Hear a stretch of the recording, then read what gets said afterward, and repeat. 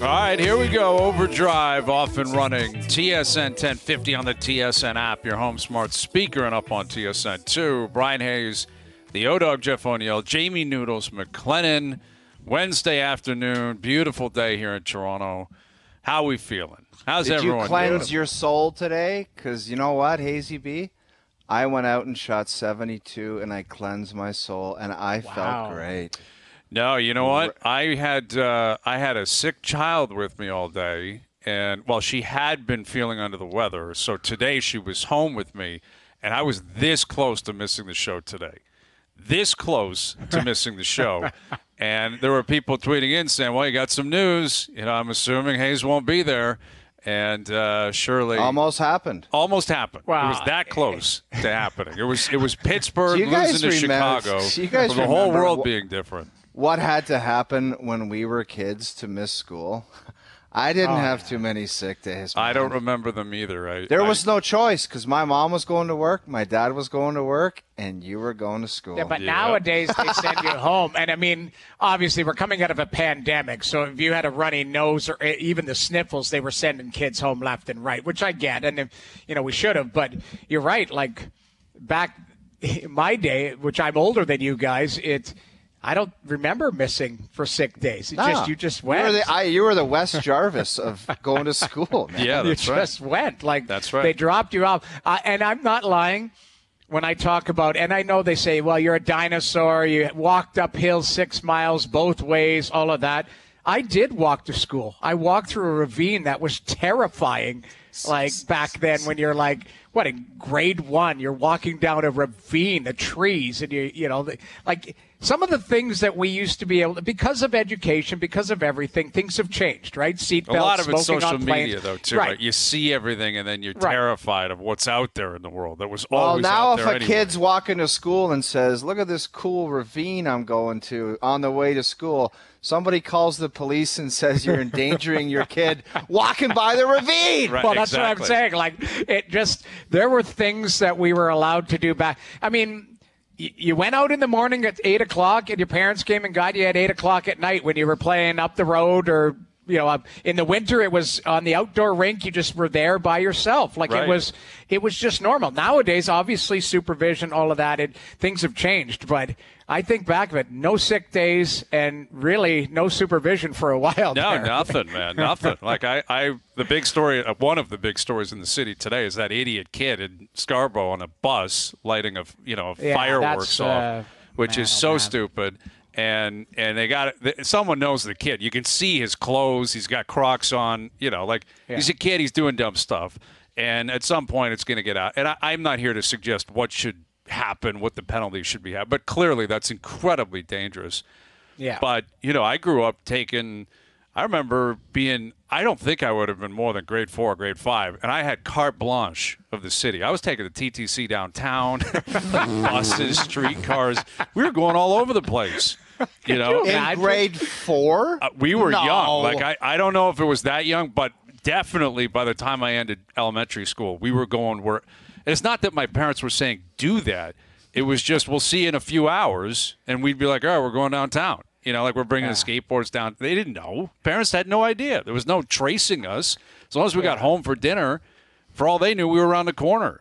we're Yeah. You going know, I mean, you got and, and We're going obviously. Let's recognize the time, but I don't know. I think I've told you guys this. I learned to drive when I was twelve. Like which that is was wild.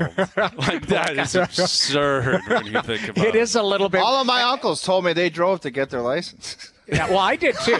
I drove to get my license. My Yeah. mom threw me the keys and said, "Go get your license. You're 16." So I drove, but I had been driving for years because uh, at 14 you could get your learner's permit. My brothers are older than me, so there were times where.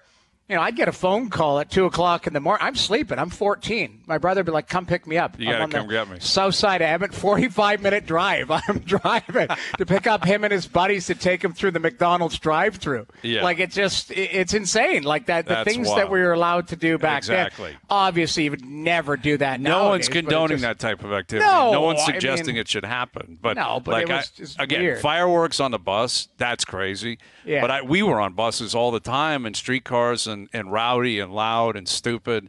Yeah. And never anything to that extent. But the, I, it's almost shocking that no one from the TTC at any point said, you guys cannot do that. You can't be on here anymore. You know, and back when it used to be, you put the money in the little slot and then they, people would just throw change in and run. You Yeah. know, and then all of a sudden everyone's through. The guy's trying to count the amount of money. He's like, "All right, just go." Tenny you get in for like a dollar seventy-four. you know, because it's all pennies and dimes and nickels, and you know that's uh, now everything's. Uh, what is it? The pesto. I think is it Presto or Pesto? I don't even know. They got cards, Presto card. Thank Oh, you, yeah, JP. yeah, JP's a man of the city. JP knows what's up. He would know all that. Yes, and I guess Brad Treliving needs to know all this kind of stuff. So are we going to Exactly. catch Treliving on the TTC? Is he going to be one of those guys, you know, a man of the people, right? Jumping on the uh, TTC. Maybe he lives in Yorkville, jumps on at, uh, you know, I don't know, Wellesley or College or Blue or whatever, and says, "I'll, I'll see you downtown." I think we're going to see, Well, see everything's Brad new. kicking around the TTC. I don't know. Hazy B, new GM, Brad Treliving. What are your thoughts? Well, I think it's highly predictable. He has been the one that's been in the front of the line for like a week and a half, right? Like it's Right. it would have been a real shock if all of a sudden a press release came out and it was, you know, Steve Yzerman's leaving Detroit and he's coming up here to pair up with Shanahan. Like then you're talking shockwaves. I, think thought there been- was the opportunity for that, by the way. I just thought there was the opportunity for something to come out of left field that nobody was expecting. I thought that possibly could happen. Well, and who knows who Shanahan was calling? Who knows? You know, the reports are out indicating he never talked to anyone in St. Louis about Doug Armstrong. Um, so that didn't go anywhere, but that doesn't mean he didn't call other teams or other GMs. He's got a million friends in the league. Like Shanahan's been in the league for, for over 30 years. He knows everybody. Uh, but it was always it always felt like Treliving was in the front of the line um, that he was it was pushing in that direction, and it was you know his job to to lose effectively, and obviously he he did not do that. Um, it checks boxes that Shanahan clearly was looking for. GM of experience. He's been a GM in Calgary for nine years. He was an AGM in Arizona for a long time. He's been in the league and in front offices for almost two decades. So he's very comfortable with that. He's worked in the Canadian market. Like all this kind of stuff we know that I, I think would be appealing to Shanahan. I, I think what I'm intrigued by is, you know, how different is his vision compared to what maybe Dubas would be looking at? How much input is Shanahan still going to have on all this? Because that's a big part of what's come out the last couple of weeks, right? All of a sudden, leaks coming out. E- even the way it was announced today, not very leafy. Y- You know, the way the Leafs have operated for, for about five, maybe nine years is press release out of nowhere, email. It's even if it's a guy you expect, right? Dregs broke it last night. Dreg said it's going to be Tree. It- like Treliving's coming, and then everyone else jumping on board. And then all of a sudden, it's almost like the Leafs were like, I guess we might as well just get it out there. You know, like the whole world already knows. There's no point in us pretending like we're holding back information here. That has not been the way it's consistently been run here. Um, you know, reports about what Shanahan's been saying to players and other management types. That kind of stuff hasn't been out there a lot in the past. All of a sudden, you're kind of getting a read on where Shanahan comes into play here. So I'm curious on that front. And then, you know, as Noodles, you've been talking a lot about this. Oh, you've jumped on board with it. Yes, Treliving was in Calgary, and yes, he was in Arizona. This is a different beast This is. in, in terms of the market, in terms of the history, in terms of the amount of resources as well. Like Yeah. he he is going to come in here and possibly have the ability to completely reshape the way the whole place operates. I don't know if that's his plan, Oh, but I I, don't think know you if he's to going brace to get into the way the whole place operates because regardless of what's gone on in the ice and they won one round in a long time, they might have other things that function smoothly that are that don't need to be changed. I and agree. I like Brad a lot. I've always respected and appreciated the way he went about his business. He seems like a great guy. You talk to any hockey people, they'll always say that's a great hockey guy, and I'm glad he got the job. But the, just the one thing I hope is just just some honesty. And I think in this market, you guys can both agree. The one thing that's expected and the one thing that's mandatory is you just tell the truth. Like you Yeah. can't just skirt around things and lie and say we're this, we're that, because people aren't stupid. They're very smart hockey people and they know what the hell's going on. And I just hope that there's some kind of different twist on it, maybe something stronger than a twist, a different look, and just in an honest assessment of what he thinks has gone on here and what he thinks needs. And I'm not saying he needs to agree with my ideology on what needs to happen for a team to be successful and have playoff success because that's probably not going to happen. But just just to say, you know what, for things to go forward and get where we want to be, maybe this has to happen. Because if he just comes out and says, "We're trucking along here and we're going to keep throwing this thing out there," I think that's a big time mistake. I, I the one thing that I and I wasn't lying. We did our you know the mock GM interview yesterday, but the one thing that I think is advantageous here. This is a guy who certainly knows the market and respects the market, but he he didn't grow up here. By all accounts, I don't know if he was a Leaf fan growing up. And I, I said it yesterday. It's more about this is a different set of eyes coming in.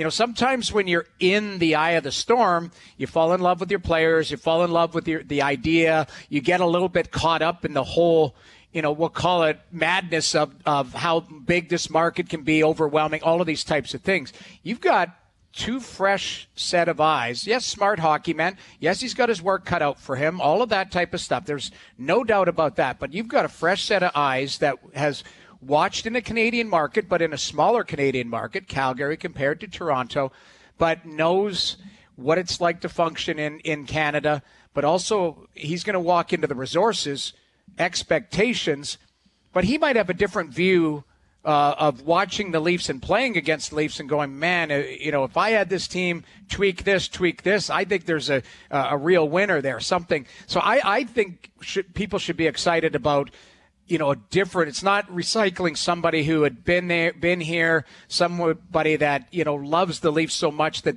maybe they might be blinded. It's more of an outside pair of eyes that is going, "Hey, I'm going to step in, and I've got some great resources here." And it's not like they've overturned anything. He's got AGM still there, and Brendan Shanahan's still there. There's a lot of consistent. Brandon Pridham's going to, you know, from my likely all accounts, be there, but likely knows? be there. Who knows if he changes things? But the point being is, he's got all these resources that he can step into and go, okay, what does this look like? Now he's the, the problem is is he's he's jumping into a hornet's nest because he's got so much to deal with in such a short amount of time. So yeah, that's well, the and- concern. Yeah, and and listen, we until we hear from him tomorrow, um, you know, and, and he's not going to give you a full breakdown of the the blueprint, you know, on a one year, three year, five year plan. Right. And he still likely needs time. He does need time to evaluate the organization, find out who he's working with, and find out what he has. I'm sh- I I'd be willing to guarantee it. I think we all know this. He's been doing that diligently for probably two weeks. Right. Right. Since since it became a job that was available, and since Shanahan called him, I'll bet you got off the phone and said, "Send me every piece of information you have, and let me look over everything." So Right. He's not partying today and then showing up tomorrow saying, "Okay, where's my pass card? Like let's let's go in and see what's up." This guy. Brad Treliving has been chipping away for weeks now, and now that he's officially in the door, now he can really allow that to flourish. But I, I agree with your assessment of who he is and what he represents. My question is, will he be allowed to represent that? Because everything you just described, Noodles, Right. hometown guy, his people, his Leafs, he loves them. You know who you just described? Brandon Shanahan. Brendan Shanahan. Yeah. Brendan Shanahan. And we will find out what Treliving is all about if Shanahan allows him to do that. Now, maybe they see it eye to eye on things. Maybe he isn't coming in here, like genuinely coming in here with some big plan of explosion or, you know, whatever it has to be. Right. But there have been a lot of reports, again, very different in Leafland all of a sudden, that Shanahan called the core four and said, if it's up to me, kind of want you to come back. That Shanahan was basically intimating to prospective GMs, I kind of like this Keefe guy. I wouldn't mind, you know, keeping him around. If that's the case, what's the point of having a GM? Like if Shanahan's just saying you're keeping the four and Keefe's coming back, what the hell is Treliving even going to do? Like it's not going to feel different. Is my point. Like it's going to be effectively the same team. Yes, some pieces will come and go naturally. Whoever Well, if wins those the cup, four that guys happens. come back and the coach comes back, what the hell would feel eh, different? Nothing. Well, That's the whole y- y- point. Like the the team, it's especially you can add Rielly on that too. You're talking the five highest contracts, the five longest standing players, the five marquee representatives, and the coach. I'm Right. sorry if it's just Treliving for Dubas and those guys come back. In terms of the ice in the room, it's the same team. And Shan- if that's from Shanahan, then Treliving's showing again. He may want that anyway. Like uh, Treliving Right. may believe in that anyway, or he may be convinced into believing that, and then it's on him to work. That's the nature of the job, right? Right. If the, if you got a boss, like that's he's not immune to that. Every single person in business has to step up to the plate in that situation. But if those are the marching orders, what is Treliving going to do? If Well- it's just the same team, effectively, Let- because let me- Shanahan wants it that way. Let me paint a picture here because I, I look at it in a different way.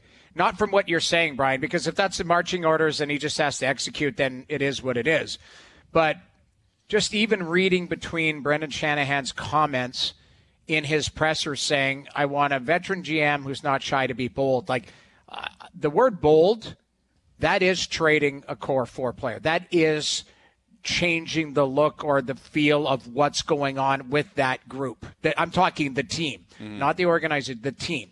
And it, it, it, by all accounts, yeah, Brendan Shanahan could call up and say, "Core four, love you, you're staying. If I had my choice, Right. you're not, you're not going anywhere." But the the caveat is the manager makes the deals, not the president on paper, right? Mm-hmm. So if he ends up doing the, you know, Masai to DeMar, and he said, "Hold on a second, you called me." Well, the new manager wanted to do right. that, not could me. be a good cop, bad cop situation. It could be. Again, I, I, I want to see how this all unfolds. The other part about this, too, guys, is obviously everyone, Auston Matthews' deal is front and center. No, you know, everyone knows that. But William Nylander is interesting for me because I don't know. I don't know if that will get done immediately. And if that doesn't get done immediately, it might take a little bit, again, for a new manager to come in, get the lay of the land, and then start to look at options to go, well, if I can't get this guy, you know, sorted out, I might have to do something.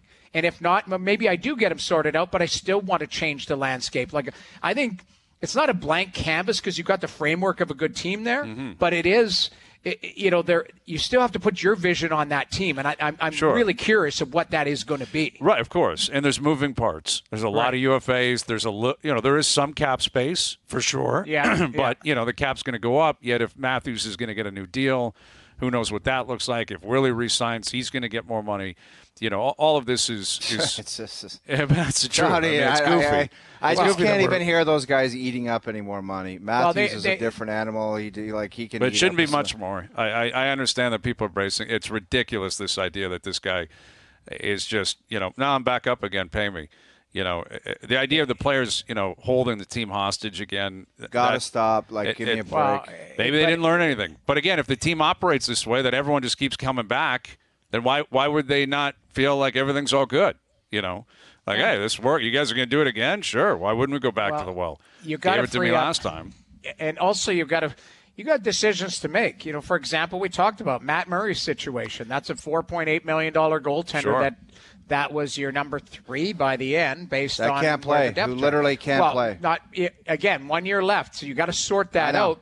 But but those are the types of things that might be item forty three on Brad Treliving's list based on what he needs to do in an organization. But you know, as of whatever time that was, like he's in one. He's on the clock. That's yeah, basically again, what it is. I think it is important to point out, you know, like it's still, you're still walking into a team that is very good. Yes, Yeah. the, yes, haven't reached the mountaintop and have stubbed their toe in the playoffs. He's not taking over a team that had 64 points last year and is a complete disaster. Like it's not even close to that. And at, and this is where you know you talk about expectations and pressure that's on him it's the pressure is on him to keep that level of consistently in the in the regular season, Right. but add in terms of playoff potential, right? Like that that is a very different job than someone stepping in and saying, "All right, we got a mess here, or we got to reload, or we got to rebuild, or we're going to have to blow it up." Like it's nowhere close to that. He's stepping into a very different situation than Lamoriello did when he first got here, and I'd argue different even than when Dubas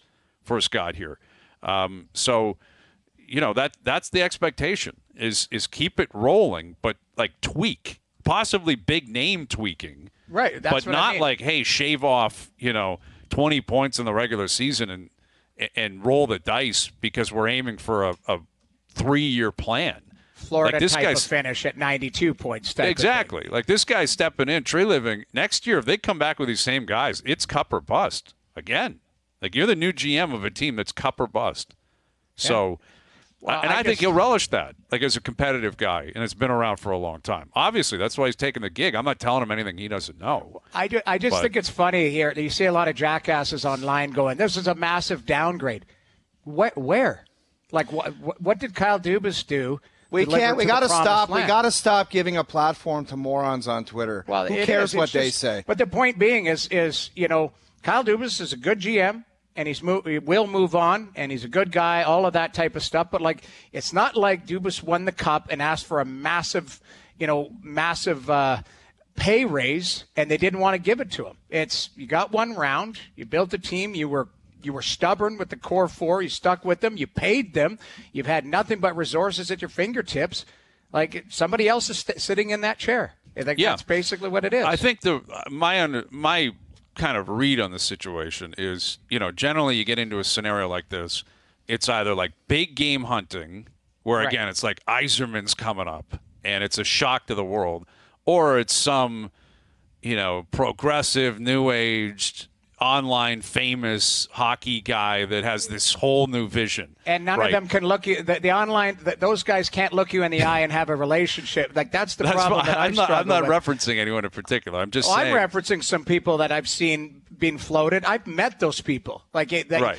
They're good at, as AGMs because they're not good at managing people. That's sure. that's what I'm saying. And that doesn't come up enough. Is that it's not simply about what you're putting on the ice. It's how Right. you're you, you got to run a whole operation. You're talking scouting staffs. You're talking different you know departments. You're talking agents and chatting with Right. them and negotiating. All that kind of stuff has to be factored in. I think what Treliving kind of represents is kind of like a. It's kind of in the same ballpark as Dubas. I, I think Exactly. like it's just think consistent. There's no, there's nothing uh, controversial. You know, there's there's nothing that's on his resume where you say, "Man, that is really like that's ugly," or and there's nothing like that. It's just he's he's been operating. He's been doing a good job. He hasn't won either. Like Right. to be fair Exactly. to Kyle or anyone else, it's not like Treliving's coming in here with three rings. So Agreed. he's got to prove. Now this is a big opportunity for him too, right? Like now you got the pick of the litter. Now you got the most resources in the league. Nothing really comes close. No. What are you going to do with it? And I'm intrigued to see what he's got. Like I'm really Yeah. intrigued. And you look at the way, you know, he's he's dealt. A lot of people pointing this out. Like you look at Calgary, he's put a real emphasis on defense, on size on the back end. Like they've been a big, nasty defense core for a while out there. Um, you know, it makes you wonder how he's going to look at certain players on this team, and and what is his philosophy? That's what I'm gonna be. intrigued by, Hayes. How he looks at it and how he views on it, and what moves Well- forward from that. Because there's no, when you really break it down, there's just no way he views it the same as what it's been here the last five No. or six years. There's just no Well, eh, damn way. and and and And you wouldn't know, hire him. I don't think they'd hire him if he did see it that way. What's, you know, why Well, do that? Well, yes. you got to have you want you want some sort of new view, some sort of new philosophy but that's that's going to be comes with- applied. that comes with the new eyes. And like I say, you know, it's a scenario where, like a guy like Justin Holl, who was really polarizing, he was Dubas's guy. He won in the minors Right. for him, signed him, kind of late bloomer, all of that, stuck with him. You know, there's no allegiance. This is where every guy in that dressing room should be on notice because there's no. Brad Treliving didn't sign any of these deals, draft and develop them, so he doesn't know them. The relationship starts today, and you know, some guys have to reestablish themselves of how important they are to the organization.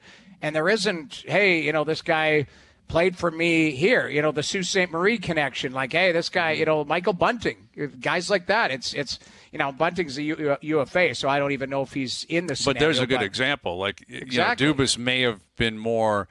Obviously he's more connected to Bunting, where Treliving won't won't have that, and that applies, you know, with every player, especially the guys, you know, at the top. Like I look at a guy like Morgan Rielly, who I don't think they should be looking to move off, but you never know what what a new player, what a new GM may may think of that contract, of Right. where he's at in his career, you know, how he plays on the defensive side of things, you know, in terms of the amount of minutes he's going to eat up. Um, these these are yet to be determined. He's obviously pitched that to Shanahan, and Shanahan was intrigued enough by it where he said, "Okay, I'm in. Let's go."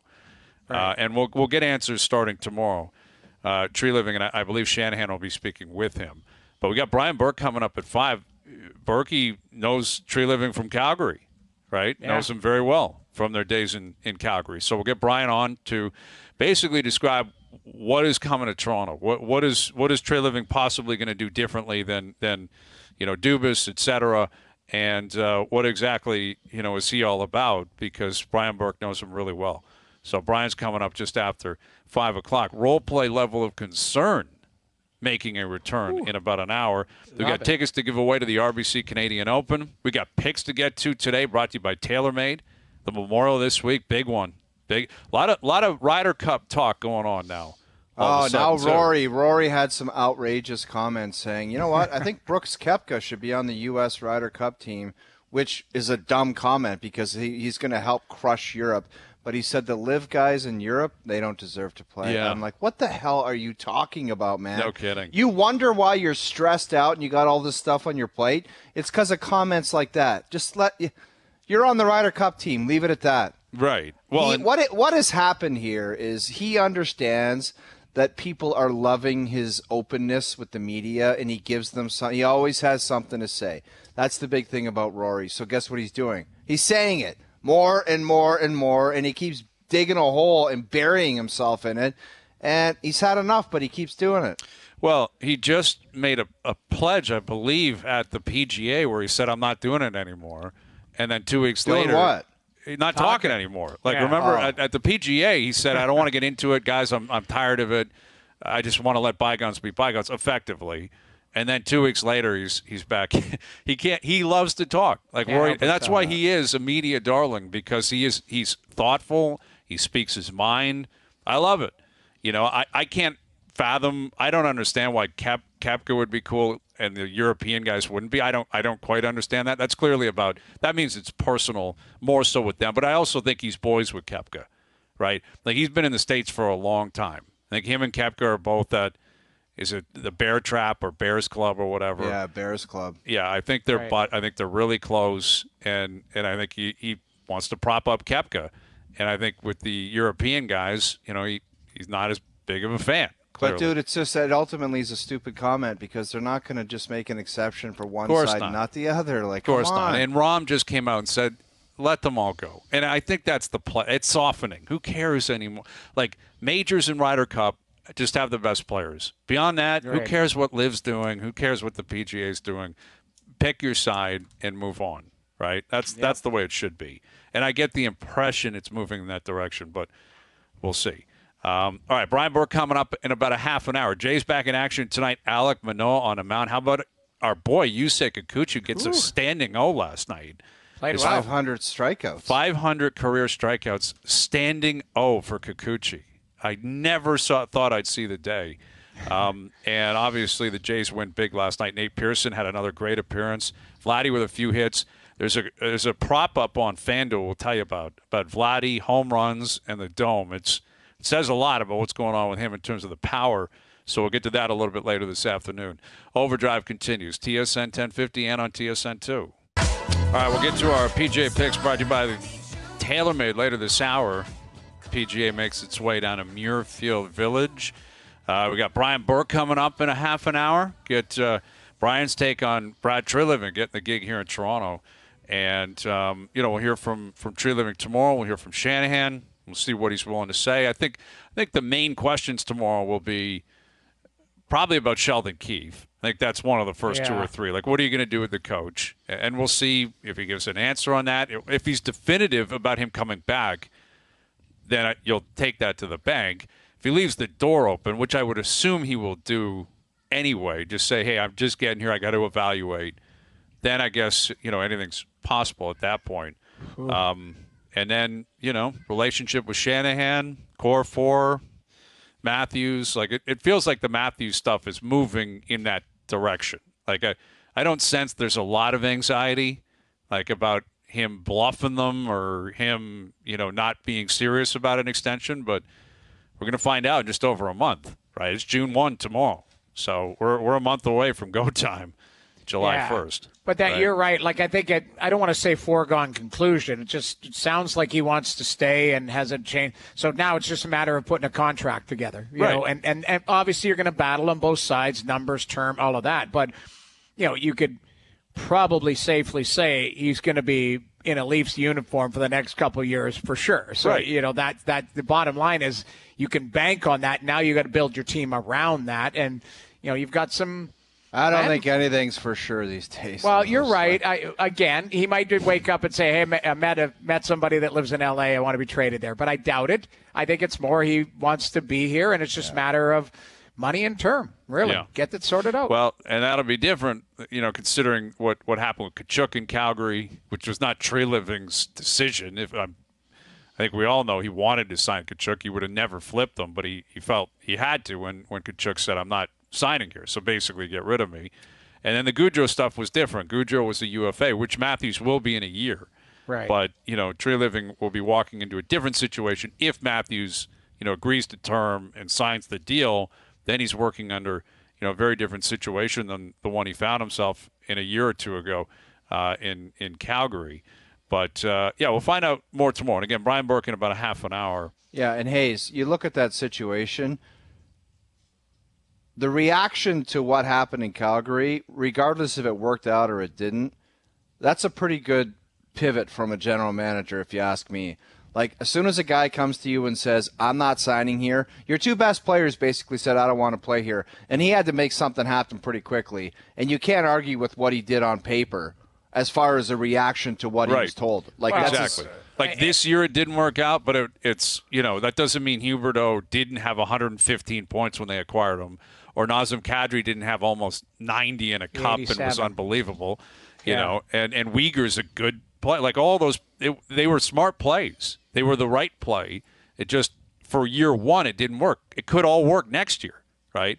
Maybe Huberdeau takes back off. Weegar, Kadri, they all put it together. Markstrom stands on his head, and all of a sudden the Flames are good. Guess what? That's Brad Treliving's team. Well, You know. you, look at the, the term of it. You're right. Like right now, that's what I saw trending on. Oh, we got, you know, got a GM that is good that traded away the Conn Smythe winner. Yes, like on paper, that's what it looks like, and that's what is going to be this year. But you look at the life of the contract. I mean, Jonathan Huberdeau right now should be working out and focusing on next season because he had a terrible season first year with the Calgary Flames. But I, I think we all expect him to be a lot better next year. He's going to have a different setting, different coach. You know, you can't use the coach crutch. You're gonna you're gonna have a new coach. Right. You're gonna have to you're gonna have to produce in that situation too. So you know, let's let's see how it works out here because again, you can go revisionist history and go, hey, that trade didn't work out for Treliving. That did. it's what he does here, and he's got a lot of work to do here. Exactly. And that applies to every GM. If you're Yeah. a GM in the league for a long time, you make very good plays, you make big mistakes. And if you make so many mistakes that that becomes your reputation, you won't work anymore. Like Shanahan isn't a dummy. He's not going to hire this guy thinking, man, that was a real screw up. This wasn't good. Like, obviously, he was impressed with the process and impressed with Treliving, and, and that's why he's here. Um, so, yeah, we'll, we'll see. And, and again, Berkey will join us in about about a half an hour. Pierre LeBrun later this afternoon on, on kind of how this all came together. Alek Manoah back on the mound tonight. And, like, it just feels different when What are he's you pitching, man. expecting? What are you expecting? Honestly, I'm, I'm expecting a poor outing. If I want Oh, to, if I'm, I, I don't want to feel that way, Noodles. Like I Yeah, prefer know, not I to. know. But this guy has been consistently struggling. Like he, he had a good outing against Baltimore a couple of starts ago, but um, For the the last most time part, we saw you're him- talking about him coming out of the game after the fourth haze. Right. That's it. Like the total, I, I'd be curious what FanDuel has that at. You know, is it four and a half? Five? Like that's that'd be that says something. If if his total innings tonight is any around is around four four and a half, like that that says all you need to know. That you know the books are telling you they're not expecting much right. because he's throwing way too many pitches. We've all detailed the stats. He throws more pitches per inning than any starter in baseball. He's not striking guys out. He's walking a lot of guys, and you know I, I'm I'm pulling for him because I, I like what he represents. I love what he's done in the past. I didn't see this coming. I'm not suggesting I saw it coming, but at this point, it's been so ugly, and and there's so much data and sample size. It's difficult to envision you know, seven strong outings tonight, one earned, keeps the ball in the park, seven, eight strikeouts. Like that is difficult to see. Meanwhile, I can see, you know, 85 pitches through three innings, bunch of walks, bunch of hits, and leaves, and the Jays are down 5 2. You know, because I've, we've seen that so many times. Yeah. So, Let's hope he has he's, a He's got know, to get it together. home field, get excited. You know, great weather. It's a little hot though, a little too hot. I'll, Oh, I'll complain about weather. it. Perfect Hey, weather. so what. I'm worried about is like what the hell could Schneider? He's gone through the we love this guy's competitiveness. He cares. He's going to get it right. He's doing all the right like you get to a point where it's you run out of things to say. Mm-hmm. And it's just like go talk to him. Yeah, agreed. I mean, Schneider is going to speak after every game, but what if it goes south again? There's nothing more to be said. I mean, they're, they're, he's working. They're working with him. They're, they're trying to put him in a position to succeed, um, and you know it's on him to simply do it. And, and not only one start, like for him to return to form. We're talking this guy for like a big month, right? Like get through the end of June and say, all right, that, it looks like Manoah again right? Because that's happening with different players. Like Kirk's starting to hit a little bit more. Uh, Springer's starting to get it going. Like guys who have had slow starts, it, it still is May 31st. You still have a very good chance to have a very positive impact on the season.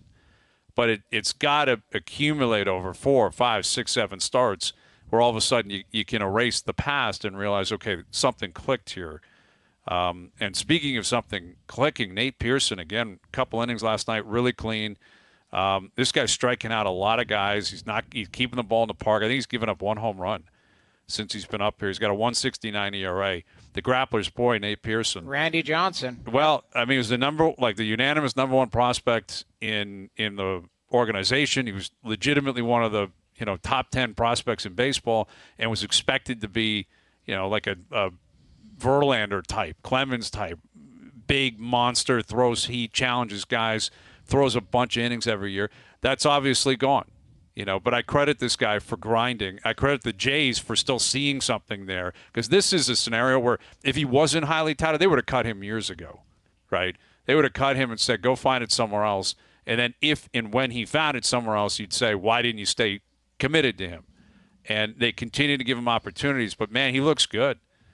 He looks good. Like he's he he looks like he legitimately could be a high leverage arm. Yeah, And a that's what they need out of the maker, And if you need a big out, a- like what I like, I like that big monster coming Yeah. out. I don't know why. It just seems like they're more intimidating. They throw harder and they get guys out. Yep, that's modern baseball, man. If you don't have it, like you, you know, you can bring Simber out and he can do he can throw Yeah. the way he throws, and, But and that's gonna be prime like. Kenley Jansen, that dude when he was on back Yeah. with the Dodgers, like that's a nasty dude up there. Right. You get a guy out there that's big and and challenging and just throws smoke at you and says, "Come hit it, man." And, and chances are you're not going to. Isn't that what Manoah is supposed to be? That, that is what Manoah like. He's like a, a big, giant, threatening human, Yes. which you know we saw last year, yelling at the players like swagger, like throwing. and that's not the smoke, like- disposition of, of Pearson. He doesn't seem like a guy that's interested in confrontation or anything like that. no, he looks like Nuke LaLoosh up there. he does have a Nuke LaLoosh kind of vibe, but he's uh, just listen. You add him to to Romano to to Swanson. Mayza has had a great year. Like all of a sudden, you start adding a few arms where you start to put together a bullpen. You add a piece or two at the the deadline, and, and maybe the Jays have something cooking here. So it, it's still early. He's only I think he's got 16 innings pitched on the season, which again is a small sample size. But he's here, and he's certainly here to stay for the foreseeable future. And that's just a cool story seeing Pearson kind of persevere and get through. Um, all right, Brian Burke in, in about 20 minutes. Role play level of concern at 5:30. We'll come back. We got our golf picks brought to you by TaylorMade still to come. Al Pacino's in the news. We'll tell you why. Overdrive continues. TSN 1050 and on the TSN app. All right, Brian Burke coming up in about 15 minutes. Role play level of concern at 5:30. Get to our PGA picks brought to you by TaylorMade. The Memorial this week, big tournament. Jack Nicklaus, he'll be in the booth doing his thing. Right? He's he hates LIV golf. Well, he just said it's not a thing. They're not a part of the sport anymore, basically. And he's a PGA guy through and through, obviously. And he hosts a PGA Tour event. That golf So- course, by the way, the mom- like where that course is played, Mm-hmm. it is a bucket list track. Yes, it looks It- so epic. Oh my god! The first time I stepped on that property, greens to die. I don't care how good you anyone thinks their greens are. Go play that golf course. It is outrageous. the creeks just kind of shifting their way through the whole place and Remember Jon Rahm a couple years ago testing positive when he had a six-shot lead going and being into pulled off on the seventh hole or something. A guy tapped him on the shoulder and said, "Hey man, you might have. Co- I think you tested positive for Yeah, COVID." you're out. See you later. Like, Like that, looking back on that, crazy. he was walking outside. Yeah. Couldn't they say keep your distance from your playing partner? Don't shake his hand after the round, and Wow. you're going to win 1.8 million dollars. Yeah, I mean, we were living in a very different world, obviously back then. I know, Could but he looking sue or back something? on Not it, sue, but like, should he have No. got like, you know what I mean? You just you're on the road to getting that money, and Those you were get the pulled rules. off. I Those understand the rules. He won but the U.S. like- Open like a week late, two weeks later. Remember? he he, did. won at uh, Torrey Pines like two weeks later. But you're, you're right. Listen, Noodles. You would think someone might look at that and say, "Wait," a- but they all had to test, and then the tests were. those were the rules. You're right. Those were the rules, and it was like, well, if you're positive, it's sorry, there's nothing we can do. You're out because he easily Right. could have been trunk slamming uh, and leaving anyway. He happened to be winning the tournament. He could have been T forty three, and no one would have cared. They would have just said, "Oh, there goes Right. Rahm. Who cares?" But not only was he leading, he had a massive lead. Like he was destroying that golf course. And I want to say Cantlay won. Wasn't it Cantlay Morikawa in a playoff? And I think Cantlay. It ended up being an epic Sunday because Rahm left.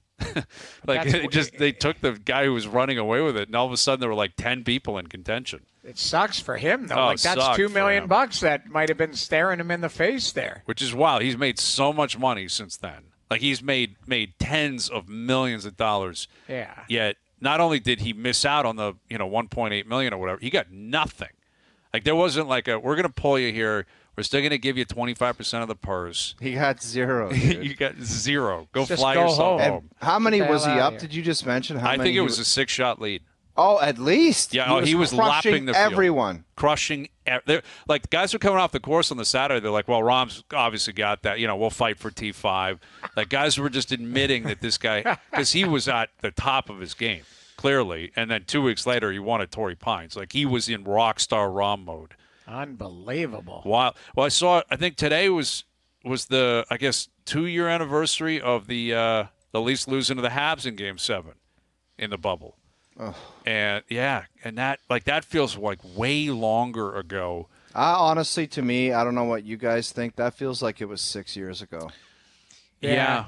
And it, it just there's no one in the remember they allowed like 500 people in the building. Yeah, the nurses, frontline people, wasn't Yeah, it? frontline uh, workers and all the coaches workers. are wearing masks. Montreal just- allowed fifteen hundred or three thousand, then Oh, yeah, Toronto just- said we're letting five hundred in. Yeah. Remember, Lottery. Montreal had that bar that was inside, outside. People were just spilling everywhere. It was like, Right. yeah, nothing to see here, folks. People were just everywhere. Yeah. everywhere. That was that was only 2 years ago. Only 2 years ago when the Leafs lost uh, at home in game 7. So, um, someone just sent in a picture of uh, Al Pacino. Al Pacino and Robert De Niro have been battling it out in Hollywood for what 40 years like Michael Yeah. Corleone and Vito Corleone and Godfather 2 De Niro's just announced got a kid on the way. Now Pacino's got a kid on the way. He's 82. He's got a 29 year old girlfriend. The- These guys are like, who's next? Robert Duvall? Like, who who, who is No, the it's next? Jack Jack Nicholson or or that? Jack, Nicholson. Yeah. Did you see him at the Laker game a few weeks ago? What kind of Oh pants was he my. wearing? What Jack was he was wearing? in a- Pants, I don't know his what he was hair. doing. He looked like he was sleeping on the on the sidelines. He was out of it, man. How old is he though? He's, He's older than his those guys. Is oh he yeah, 80? he's he's well. Like I don't think he's been out in public in a long time. Like I think that was a, a first impression in the public sphere for Jack in a long time, and I think he crushed it personally. 86 and no he looked like i don't know what was going on with the pants and the hair like it just looked like he crawled out of a dumpster and rolled He's right living his there. life, man. It Remember the shot? There were pictures that did come out at some point in the last couple of years where he was eating like like subs or something on a balcony, and people were like, look at this guy's life. Like, what a life. Jack Nicholson has been leading, and Wow. uh, yeah, I guess Pacino and, and De Niro. You know, that's that's just the way that's the way it goes in Hollywood, man. That's Yeah. the way it goes.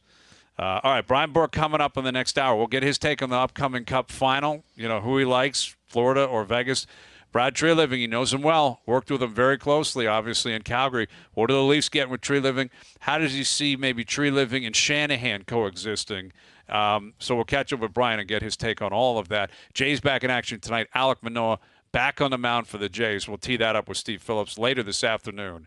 Overdrive continues. TSN 1050 and on TSN 2.